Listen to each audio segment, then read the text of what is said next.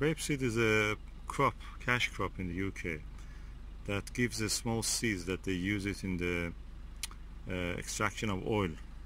Use in all kind of food products, from cosmetics to uh, anything edible. Same time, the waste of it can be fed to the to the animals.